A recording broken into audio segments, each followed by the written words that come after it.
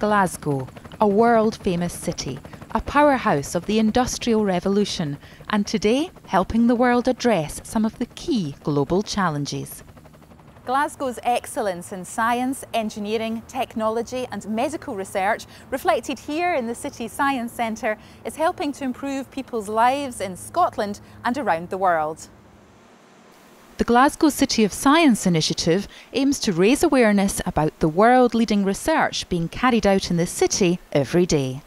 In Glasgow, we're really fortunate to have leading world brains that are working in the city, in industry, in our universities. And the main reason that Glasgow City of Science exists is to help join these players up and to coordinate how we move forward in getting benefits from science. From Dunlop's tyre to Graham Bell's telephone, Scotland was renowned for her inventions.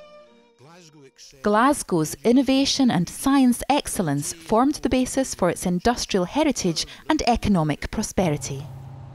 Science, medicine, engineering, technology, over the centuries it's contributed hugely to the great well-being of the city of Glasgow, to the great industrialisation of the city of Glasgow, indeed the heart of the Industrial Revolution.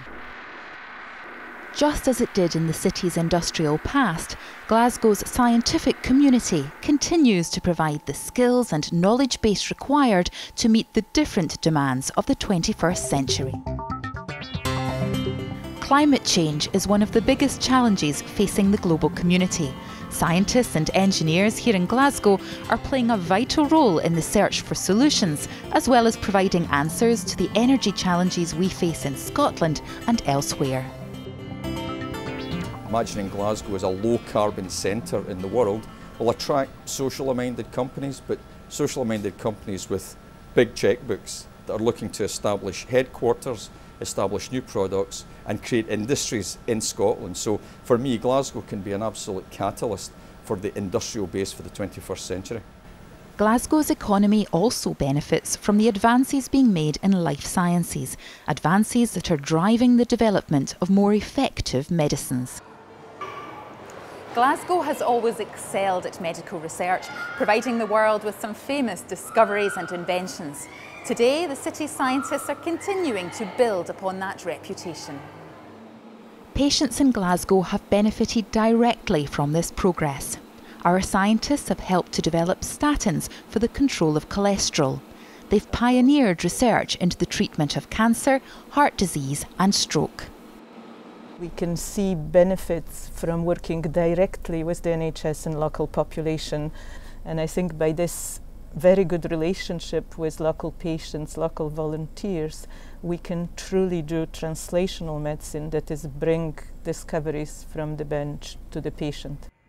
The economic potential for science and engineering to change our lives can be seen in the city today as we prepare to host the Commonwealth Games in 2014.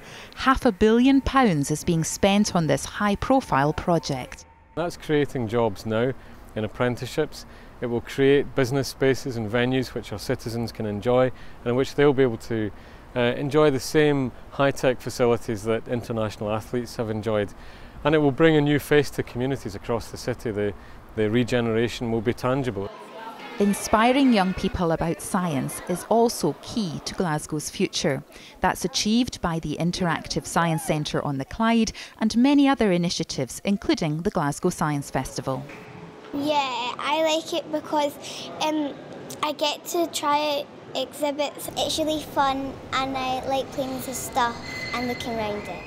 With the, the Glasgow City of Science, we can act as a, an integrator and coordinator of all science and technology related activities. So we have a focal point where people can, can turn to when they want to, to learn about what is happening in science and technology in the city. Looking ahead, how will Glasgow City of Science define success? There'll be more international students wanting to study in our universities and colleges will be the venue of choice for international conferences describing cutting edge science and technology. And of course, it'll be the creation of new jobs, new industries, and new high tech businesses.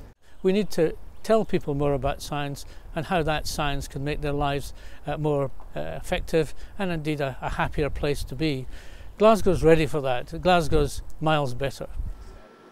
This is an ambitious project that aims to underline Glasgow's world renowned scientific excellence. I am a scientist. I studied science at school and at university, and I'm passionate about science communication, especially to young people. And what really excites me about the City of Science initiative is that it aims to raise awareness to a wide range of target audiences about the importance of science, how science can benefit all of our lives. And I think we should be proud that Glasgow's a world leader.